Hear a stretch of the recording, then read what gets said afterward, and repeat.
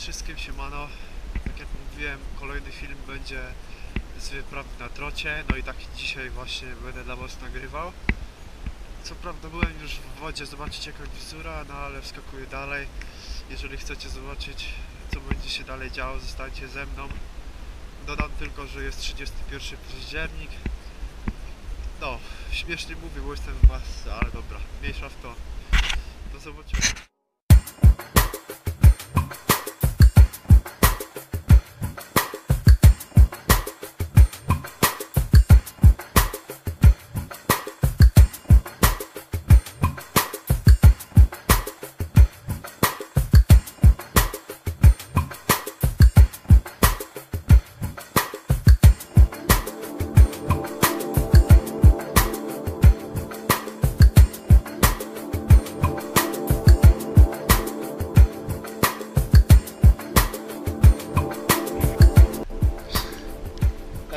starcie widać, że sporo? Ale na bank są tu jakieś trocie.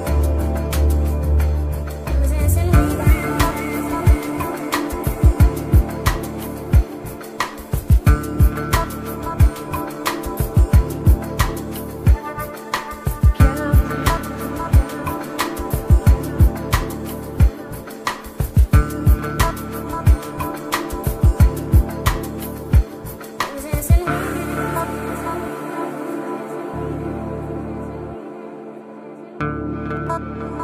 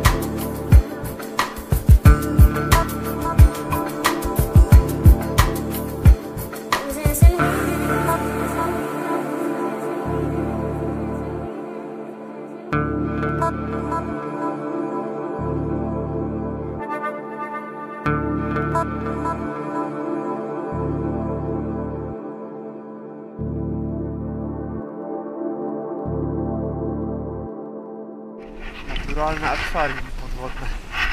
Coś pięknego, naprawdę. Nie chcę się wychodzić z wody, choć tak naprawdę już jest strasznie zimno, a więc kończę za chwilę. No witam już na lądzie, wracam do auta.